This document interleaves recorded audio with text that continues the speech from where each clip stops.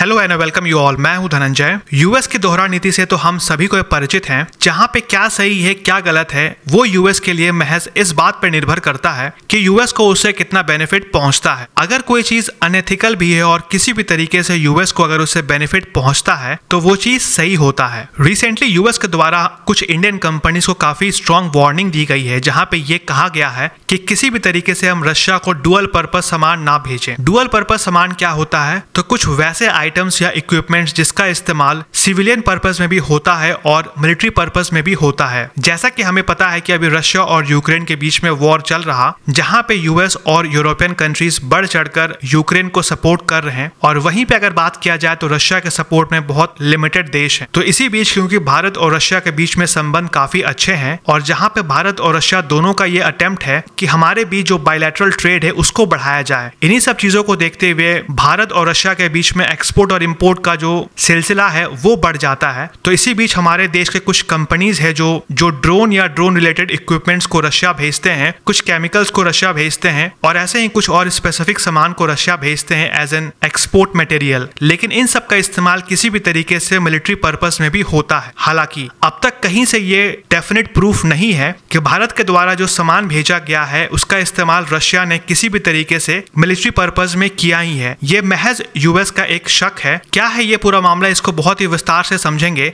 लेकिन इससे पहले मैं दो तीन कुछ एग्जाम्पल्स आप लोगों के सामने रखना चाहूँगा, जिससे ये प्रूफ होता है कि यूएस को चैलेंज किया जा सकता है। और उस एग्ज़ाम्पल को देख के हमें भी ऐसा लगेगा कि हमें भी अपने ऊपर आत्मनिर्भर होना चाहिए। यूएस भारत से क्या उम्मीद करता है कि हम किसी भी तरीके से रशिया को कोई भी ऐसा सामान ना भेजें, जिसका इस्तेमाल रशिया मिलिट्री पर्पज में कर सकता है। लेकिन क्या जो ज्ञान यूएस हमें बांट रहा यूएस उस ज्ञान को खुद के ऊपर इम्प्लीमेंट करता है तो जवाब है बिल्कुल भी नहीं। आज के डेट में जितने भी यूएस में न्यूक्लियर रिएक्टर्स चलते हैं, उस न्यूक्लियर रिएक्टर को चलाने के लिए जो फ्यूल का इस्तेमाल होता है, यानी कि एनरिच्ड यूरेनियम वो बढ़ चढ़कर आज भी यूएसए रशिया से ही इंपोर्ट करता है। और जहाँ तक बात किया जाए रशिया के ऊपर सैंक्शन के बारे में तो जिनको नहीं पता, उनको मैं बता दूँ कि रशिया के ऊपर बहुत ही लिमिटेड तरीके से सैंक्शन लगाया गया है। या अगर आप ये समझते हैं कि रशिया के ऊपर कोई सैंक्शन नहीं है तो आप गलत नहीं रहेंगे। भर भर के थर्ड पार्टीज़ का इस्तेमाल करके रशिया से वो सारे सामान को मंगाया जाता है, जिस सामान के ऊपर रशिया का कंप्लीट तरीके से मोनोपोली है। जहाँ पे बात किया जाए रशिया के द्वारा एनरिच्ड यूरेनियम का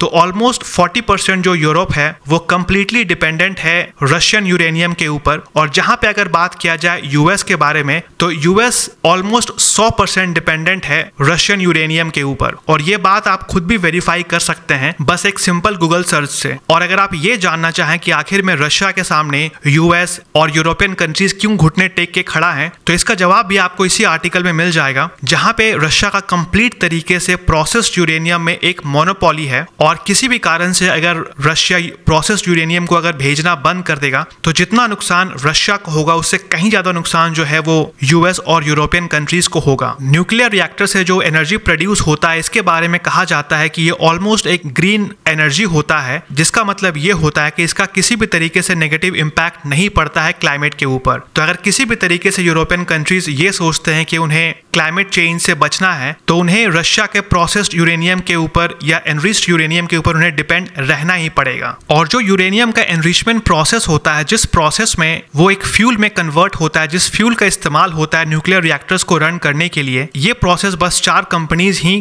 करती है। उसमें से एक रशियन कंपनी है, दूसरा चाइनीज़ कंपनी है। तो यहाँ से जो सिंपल कहने का मतलब है कि अगर आप किसी भी तरीके से अगर मोनोपोली स्टैब्लिश कर लेते हैं तो आपके सामने कोई भी देश घुटने टेक के खड़ा हो जाएगा। और ये बात मैं रशिया के लिए नहीं कह रहा हूँ, बल्कि मैं भारत के लिए कह रहा हूँ। ये बात सही है कि भारत और चाइना के बीच में संबंध बेहद खराब है, लेकिन अगर हम किसी भी तरीके से चाइना का जो पावर है, अगर उसको हम अंडर एस्टिमेट करें तो हम बहुत ही बड़ा बेवकूफ़ी करेंगे। इसमें कहीं से कोई दो राय नहीं है कि जो चाइनीज़ ड्रोन इंडस्ट्री है, वो पूरे दुनिया को डोमिनेट कर रही। ना सिर्फ़ चाइनीज़ ड्रोन डोमिनेट कर रही, बल्कि इलेक्ट्रिक व्हीकल्स हो गया और बहुत हद तक सेमी भी हो गया। अगर हम स्पेसिफिकली ड्रोन के बारे में बात करें तो चाइनीज़ ड्रोन यूएस में इतना ज़्यादा अवेलेबल हो चुका है कि जो यूएस का पार्लियामेंट है, यानी कि उसका जो कांग्रेस है, उनको समझ में आ गया है कि अगर किसी भी तरीके से चाइनीज़ ड्रोन के ऊपर हम काबू नहीं पाएँगे तो कंप्लीट तरीके से जो चाइना है, वो यूएस का जो इन्फॉर्मेशन है, उसको एक्सेस करेगा। और जितना ज़्यादा हम डिपेंडेंट होते जा रहे इलेक्ट्रॉनिक गैजेट्स के ऊपर, उतना ही ज़्यादा हम इंफॉर्मेशन उस चीज़ को देते हैं। यानी कि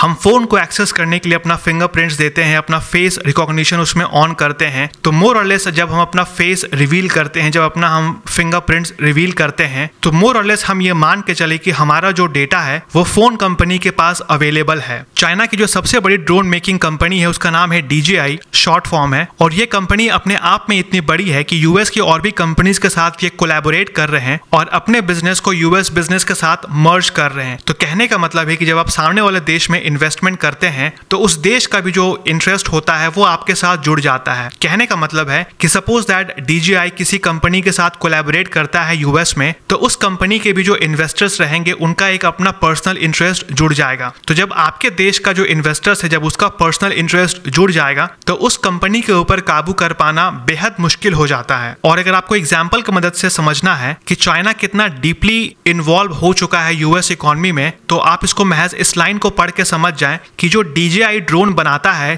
चाइनीज़ कंपनी वो 70 परसेंट मार्केट, यानी कि ग्लोबल मार्केट को वो कैप्चर कर रखा है आज के डेट में, और लगभग 80 परसेंट जो यूएस का मार्केट है उसको कैप्चर कर रखा है। तो कहने का मतलब है कि अगर चाइना किसी भी तरीके से रिसर्च एंड डेवलपमेंट में पैसे इन्वेस्ट कर सकता है तो इंडिया भी कर सकता है। आज के डेट में जो सबसे अधिक इस्तेमाल वॉर में हुआ है, वो ड्रोन का हुआ है। उसके पीछे एक नहीं, बहुत सारे वजह है। एक तो ड्रोन को आप उस हाइट पे पहुँचा सकते हैं जिस हाइट पे ह्यूमनली पॉसिबल नहीं है, और जो इनएक्सेसिबल रास्ते होते हैं, वहाँ पे भी ड्रोन पहुँच जाता है। तो ये ड्रोन के लिए काफ़ी आसान होता है कि उन सब एरियाज़ के बारे में वो जायजा ले, जिसके बारे में प्रैक्टिकली वहाँ पे पहुँच पाना मुश्किल है। और जहाँ तक बात किया जाए इलेक्ट्रॉनिक कॉम्पोनेंट्स के बारे में तो पॉसिबली सभी टाइप का जो इलेक्ट्रॉनिक कॉम्पोनेंट्स होता है, उसका इस्तेमाल आप मिलिट्री पर्पज में कर सकते हैं। तो ये सारे जो सामान भारत के द्वारा या इंडियन कंपनीज़ के द्वारा जो रशिया को भेजा जा रहा तो इन सब चीज़ों को देख के यूएस कंसर्न रेस कर रहा और उसे ये लग रहा कि इन सारे सामान का रशिया इस्तेमाल कर सकता है मिलिट्री पर्पज में। और जब भी किसी देश के ऊपर या किसी कंपनी के ऊपर सैंक्शन लगाया जाता है तो उसके पीछे का बहुत सारे वजह में से एक वजह होता है कि उस देश को या उस कंपनी को फाइनेंशियली तोड़ा जाए। तो वो देश या वो कंपनी क्या करता है कि वो किसी ना किसी एक ऑल्टरनेट रूट का इस्तेमाल करता है, यानी कि थर्ड पार्टी का इस्तेमाल करता है अपने पेमेंट को प्रोसेस करने या करवाने के लिए। तो इन्हीं सब चीज़ों को देखते हुए यूएस के द्वारा इंडिया को वार्न किया गया है, जहाँ पे बताया गया है कि किसी भी तरीके से अगर भारत रशिया को मिलिटरीली सपोर्ट करेगा तो यूएस उसे अपने फाइनेंशियल सिस्टम से ब्लॉक कर देगा, यानी कि नॉर्मली हम ये सुनते हुए आए हैं कि जब तालिबान टेक ओवर करता है अफ़गानिस्तान को तो उसके बहुत सारे जो assets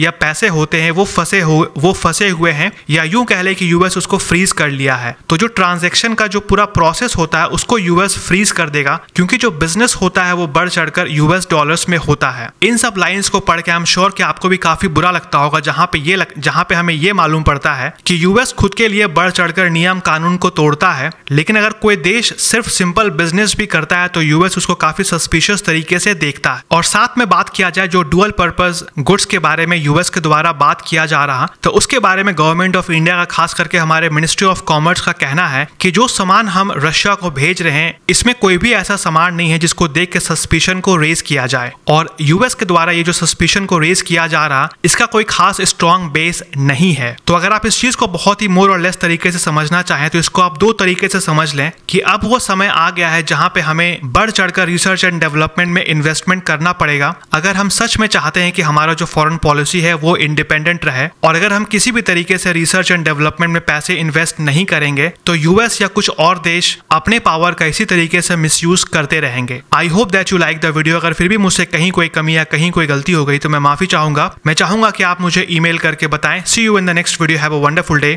thank you take care good bye